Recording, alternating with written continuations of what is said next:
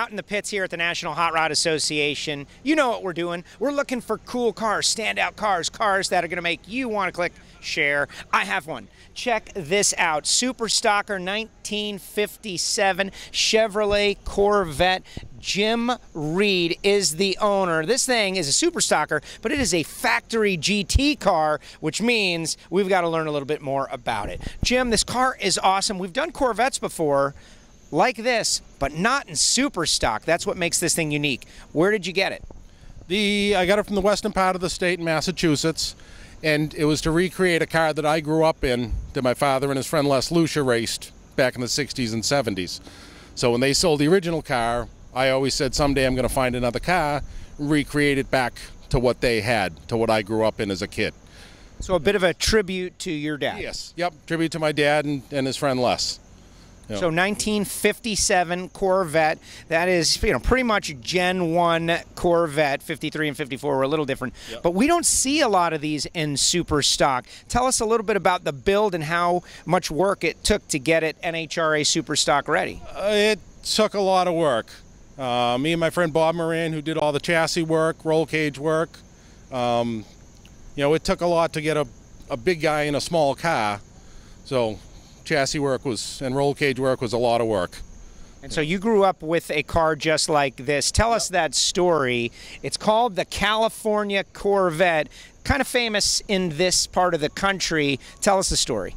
The Les lived in California for a few years back in the early 60s. When he moved back out here, it still had California plates on it, and the announcer here at New England Dragway always called it the, the Corvette from California. And that name just kind of stuck to it, and that's how it got the name. Amazing, amazing. The California Corvette, and you've got the classic look to it as well, like old school lettering, old school super stock, but there's nothing old school about what's under the hood. No, no, it's got a 2014 Copo 350 LS motor in it. Can yeah. we see it? Sure. Let's open it up. That's what attention in the pits is all about. Now, these Corvettes are just amazing, like a work of art. Literally a work of art if you're into cars like we are.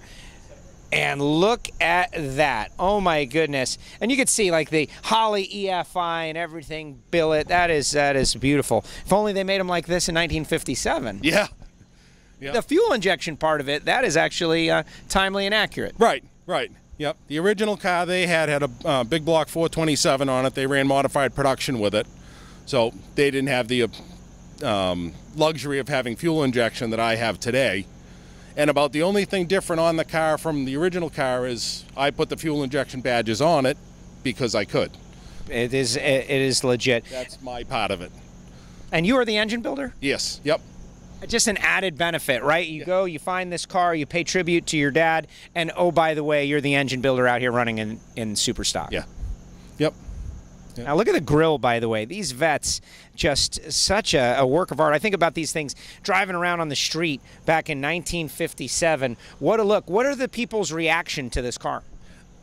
The reaction to the car is actually the most fun part of this car. People that remember the car from 40 years ago, and even just like at this race here, driving around the pits, people that see it smile, taking pictures of it all the time. You know, it's just it's just fun. Just driving the car around the pits is even more fun than driving it down the track. I, I doubt that. Just the reaction to it all. I doubt that. Well, it, yeah, it's pretty fun. All right, ET mile per hour best pass. Best pass was just the last pass. It went a 961, 137. That's the best it's gone so far, which puts it almost four under the index which is not bad, which is nice. Can we can we see you in your office? I always like to see. You're a big man. You said it. This is a little car. This is going to be fun. It's a little it's a little tough. Let's do it. Let's do it. 1957 Vette Jim Reid Jr. tribute car to his dad. Look at him getting in there. That wasn't bad. I've got kind of got the hang of it. You've learned the moves. Yep. And there you go. All right, so show everybody out there what you. First of all, great job with the interior. It looks beautiful, keeping everything very uh, original and Corvette right. looking. I didn't really want it to look like a race car. I wanted it to look like an original car back, you know, from back in the day of how the, they built a race car. The gauges, the switches, just so nice. Attention to detail. You're definitely an NHRA drag racer. Tell us about your routine, though. Like you're getting ready to pull into the water box and make a run. What do you do? Getting ready to pull into the water. Once do the burnout, hold the line lock, do the burnout, pull up, put the two stop, two stage lights on, turn on my uh, transmission timer shifter, turn that on, hold the trans brake button, light comes down, let it go, hold on. Trans brake's way down there. Yep.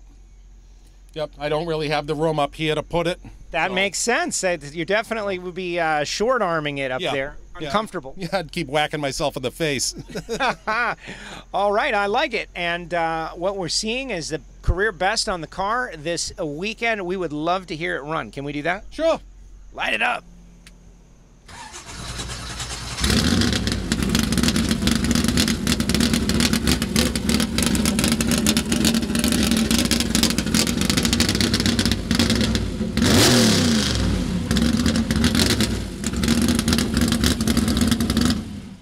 Jim Reid Jr.'s California Corvette, a total throwback until you look under the hood. This has been spectacular. You've got to be super proud. I am. I am. You have Yeah. built an amazing car. Most Thank importantly, much. thank you for sharing it with us. Absolutely. Thank you. And that's why you come out into the pits here at the National Hot Rod Association because we have the coolest cars.